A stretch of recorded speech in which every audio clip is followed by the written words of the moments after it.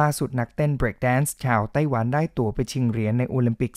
2024 ที่กรุงปารีส ประเทศฝรั่งเศส ดูเหมือนว่าจะไม่มีอะไรที่สามารถหยุดยั้งเขาได้ แม้แต่อาการบาดเจ็บที่เท้าเมื่อเดือนพฤษภาคมที่ผ่านมา สุนเจิ้นเปิดเผยว่าตนได้รับบาดเจ็บที่ข้อเท้าก่อนจะไปแข่งขันรอบคัดเลือกที่เซี่ยงไฮ้ขณะนั้นต้องจำใจแข่งทั้งที่ยังบาดเจ็บอย่างไรก็ตามตอนนี้ยังคงอยู่ในช่วงของการพักฟื้น ได้มีการรักษาโดยการฉีด PRP เข้าไปแล้ว ได้แต่รอให้อาการดีขึ้น แม้จะต้องอัดยาแก้ปวดเข้าไปก่อนขึ้นทำการแข่งขัน แต่ซุนเจิ้นก็ไม่ยอมแพ้ ในการขึ้นเวที 2 ครั้งล่าสุดซุนเจิ้นคว้าอันดับที่ 7 และ 15 จบรายการได้คะแนนรวม 60 คะแนน คว้าตั๋วไปชิงโอลิมปิกได้สำเร็จในอันดับที่ 10ซุนเจิ้นโพสต์ความรู้สึกของเขาบนโซเชียลมีเดียพร้อมทั้งเผยว่าการเดินทางครั้งนี้เปรียบเสมือนการนั่งรถไฟเหาะ เขาเริ่มจากการอยู่ในอันดับท้ายๆ จากนั้นขยับขึ้นมาติดอันดับโลกในช่วงกลางปีพุทธศักราช